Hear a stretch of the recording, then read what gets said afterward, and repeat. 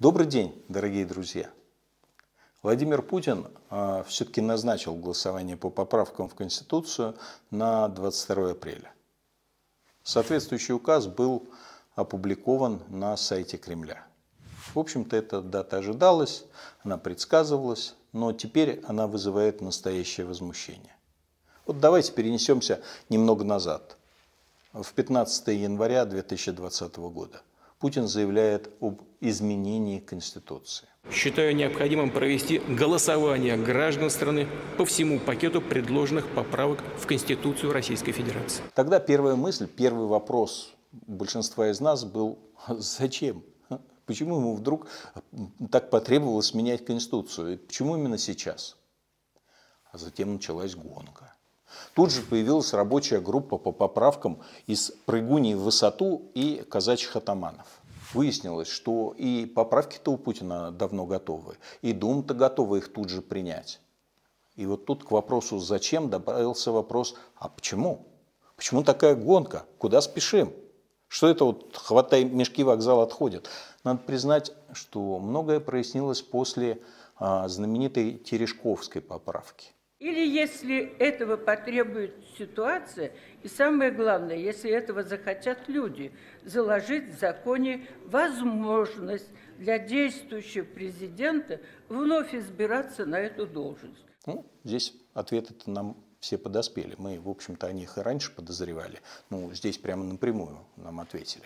Зачем поправки в Конституцию? Чтобы снять ограничения по срокам для Путина.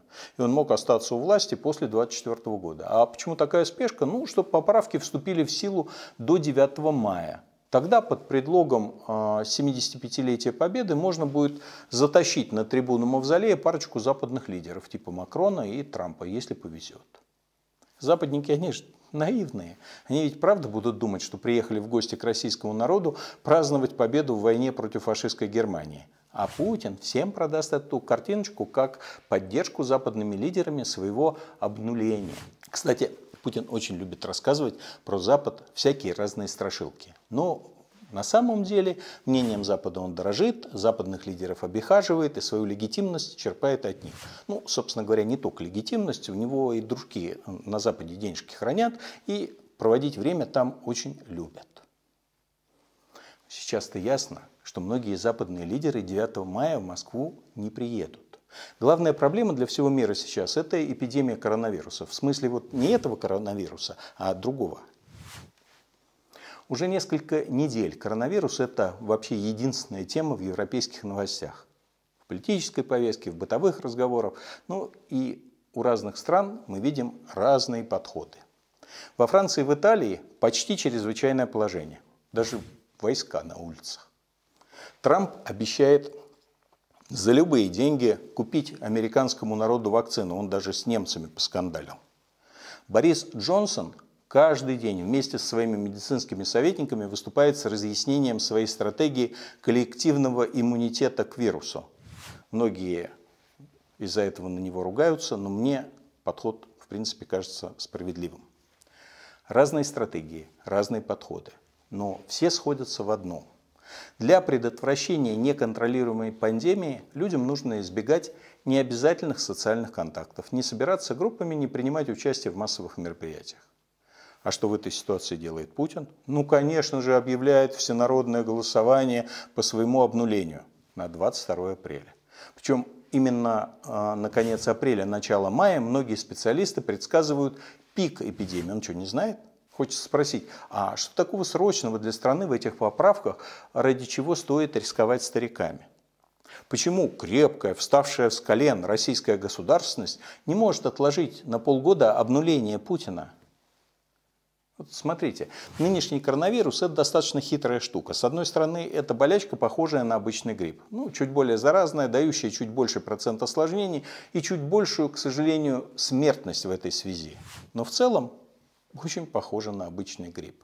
Для каждого отдельного человека коронавирус лишь на пару процентов страшнее вот этого самого обычного гриппа. Так в чем дело? Мы же не вводим карантин или военное положение каждую зиму. Мы даже на работу с гриппом ходим и по миру летаем. Но все меняется, когда мы начинаем говорить не об отдельных людях, а о населении в целом.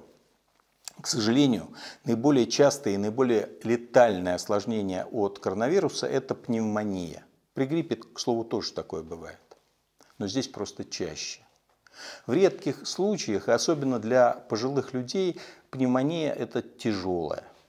Опять же, для отдельного человека это не так страшно. Ну, положили в реанимацию. Неприятно, но бывает. Подключили вентиляцию легких. Тоже достаточно рутинная процедура. И, скорее всего, через пару недель человек будет на ногах.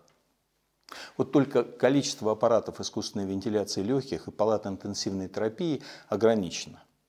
А без них вот в этой вот ситуации осложнения вирус становится по-настоящему опасным. Вот вы знаете, сколько в вашем регионе аппаратов искусственной вентиляции легких? А сколько врачей, которые умеют ими пользоваться? А сколько палат интенсивной терапии? А какие из этих ресурсов уже задействованы в лечении других тяжелых пациентов, больных отнюдь не коронавирусом, но их же тоже убивать не будешь?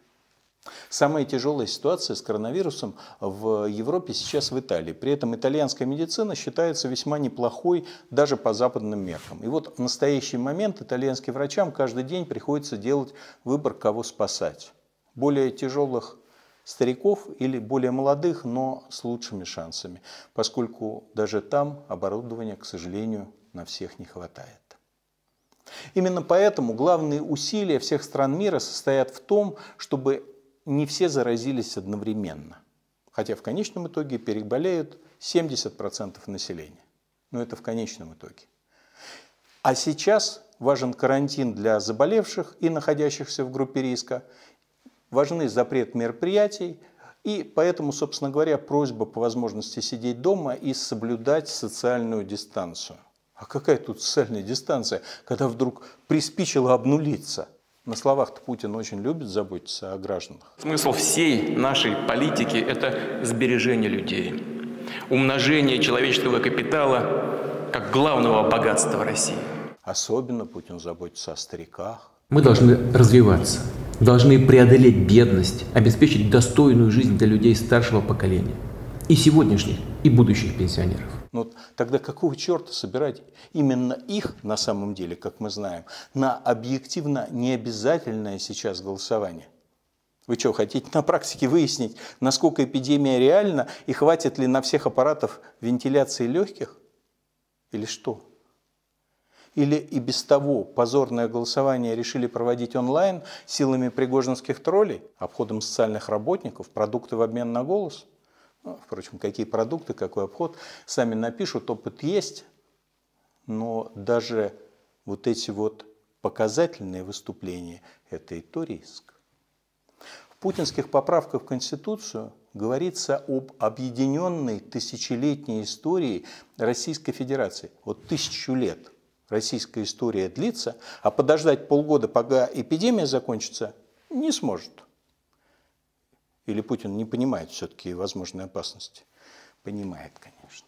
Ну, даже совещание с правительством провел. Вместе с тем необходимо учитывать все аспекты, связанные с рисками возможного распространения инфекции. Тогда почему голосование не переносится с 22 апреля на, к примеру, осень? Ведь на словах Путин так переживает за граждан. Безусловный приоритет здесь, безусловно, хочу это подчеркнуть, это здоровье и безопасность граждан. Давайте еще раз. У нас есть ситуация. На одной части, э, на одной чаше весов набор, честно говоря, несрочных и необязательных, а никому не нужных поправок. Ну, в чем срочность фиксировать в Конституции брак как союз мужчины и женщины? Или веру в Бога, переданную нам предками?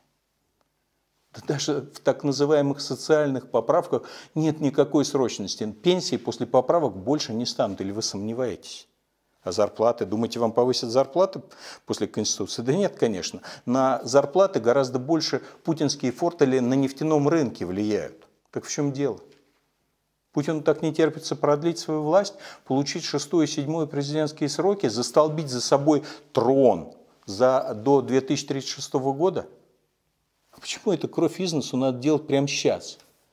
Вообще до следующих выборов еще 4 года, есть время, чтобы обнулиться – или Владимир Владимирович так не уверен в себе и в народной поддержке, что боится не обнулиться через полгода?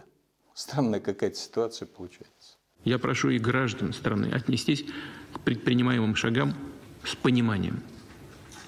Сейчас просто незаменимо востребованы наша солидарность, собранность, ответственность и дисциплина, готовность поддержать друг друга.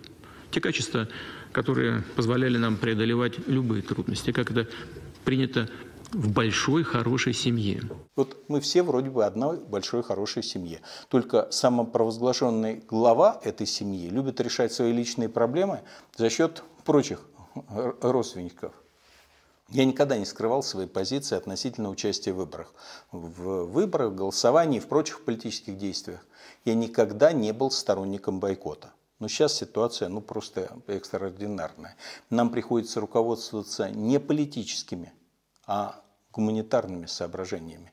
И я считаю, что оппозиция в этой ситуации должна потребовать от власти и на самом деле агитировать за перенос этого самого всенародного голосования с 22 апреля, ну, по крайней мере, на более поздний срок. Это голосование становится не только незаконным по форме, оно таким является, а, и не только направленным на узурпацию власти, а это факт. Оно становится к тому же и опасным для людей. Вот просто сейчас опасно. Теперь мы все знаем, что вирус передается, ну, как и грипп, воздушно-капельным путем и через предметы, на которых он сохраняется до трех дней, некоторые говорят до недели. Я не считаю, что для борьбы с подобной эпидемией следует вводить чрезвычайное положение, запирать всех дома или закрывать все бизнесы. Нет, конечно. Борьба с вирусом – это баланс между медицинскими показаниями и интересами общества в сфере экономики и жизнеобеспечения. Но мы не можем просто не можем остановить всю жизнь на а, неопределенный период. Людям надо покупать продукты, ухаживать за близкими, работать и зарабатывать наконец. Я против панических карантинных мер, когда врачи не могут лечить обычных больных, ну, которых достаточно много. А, в нашем мире только наивный человек может ожидать, что все будут сидеть дома – и в этом доме у него будет вода, электроэнергия, продовольствие, что никто не будет работать, а кто-то, вот неизвестный, видимо, из космоса, будет всех кормить.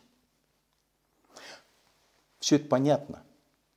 Все это, к сожалению, обоснованный риск, который нам приходится на себя брать, чтобы мы могли существовать. Но устраивать посреди эпидемии скопление людей на участках для голосования, обходы с ящиками, провоцировать митинги и протесты, чтобы обвинить их участников в пренебрежении здоровьем людей, это все безответственно. И это все, чтобы сфальсифицировать нелегитимное голосование, чтобы просто обеспечить продление личной власти. Это просто преступление. Ведь в этом же нет никакой общественной необходимости, а последствия могут быть самыми печальными. Если власть не опомнится, если не отменит своего безумного решения проводить голосование сейчас, то я буду призывать всех просто остаться дома. Просто не открывать двери для этих идиотов с ящиками. Да, это идет в разрез с моими убеждениями о необходимости активного участия в политике. Но жизнь стариков дороже конце концов, не проголосовать за путинские поправки, как я уже говорил, это тоже форма выражения политической позиции. Не такая четкая, как голосование против, но уж ну, вот у нас такая ситуация. Сейчас важнее просто сохранить себя и своих близких.